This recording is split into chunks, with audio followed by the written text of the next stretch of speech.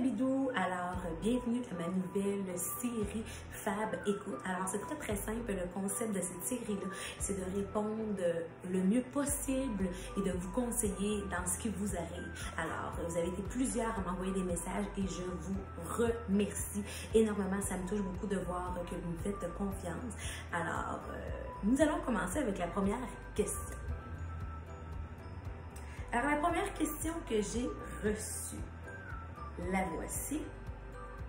Salut Fabidou, je suis en amour avec un garçon et mon ami aussi l'aime. Qu'est-ce que je devrais faire?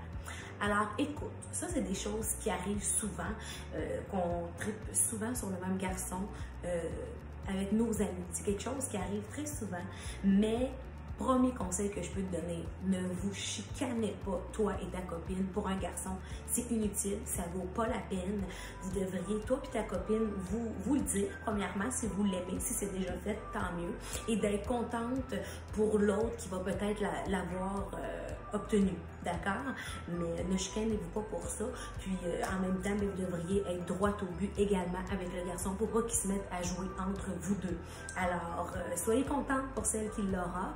Et puis, euh, celle qui l'aura pas, ben, c'est pas plus grave. Des garçons, il y en a plein.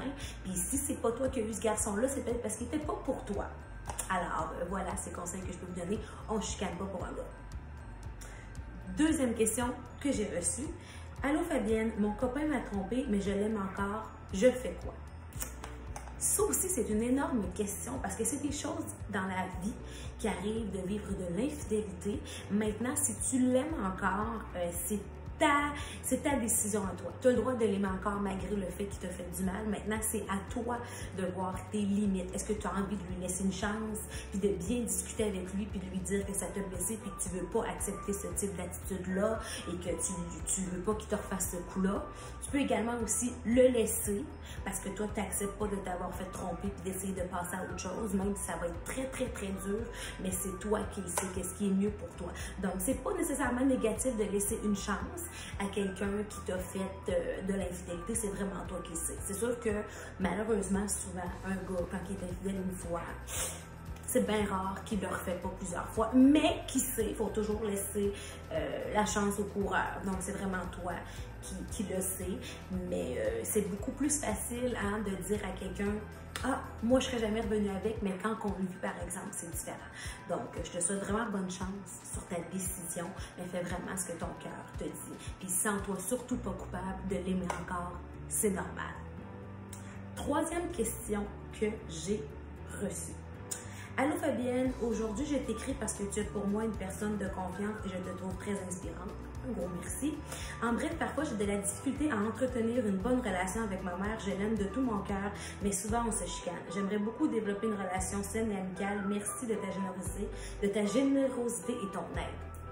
Écoute ma belle, c'est vrai qu'à votre âge, c'est difficile d'avoir une relation avec sa mère amicale. Je sais, j'ai passé par là. Écoutez, moi, quand j'étais ado, moi puis ma mère, c'était chien et chat. Ça ne marchait pas. Et c'est pour cette raison que j'ai été en famille d'accueil parce que moi puis ma mère, ça fonctionnait pas. Je pense que le conseil que je pourrais te donner, vraiment, c'est que ça, une amitié comme ça avec sa mère, ça vient avec le temps. Souvent, il faut vivre ce genre de petite querelle-là, là, de chicane entre mère-fille, pour après ça, en vieillissant, réaliser que notre attitude, bon, ben, était peut-être exagérée, autant de ton côté que celle de ta mère. Je comprends, je connais pas toute l'histoire, mais je crois que ça, c'est quelque chose que déjà, si le vouloir, de vouloir avoir cette relation-là avec ta mère, ben, tu vas l'avoir, mais il faut juste vous laisser du temps. Puis également, tu peux très bien, à un moment donné, avec ta mère puis lui dire ce que tu m'as dit.